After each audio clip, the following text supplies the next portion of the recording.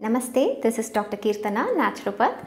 So today I'm going to tell you about one simple daily routine which all of you can practice right from babies to the you know um, 90 plus also. It's one simple routine which will improve your digestion. It will maintain the heat of the system very well, especially as the summer is going to get in. It will be an ideal practice in the days to come.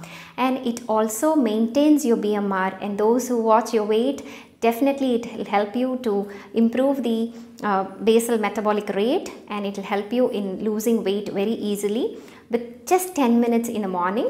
And uh, this routine is called is a part of uh, water treatment. It's called as cold compress which has to be done just 10 to 15 minutes in the morning on your empty stomach.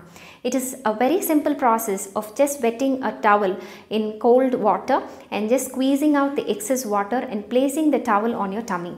It will help you to improve your digestive power and those who find their appetite is very poor, just following this for a week's time, they will find very good improvement.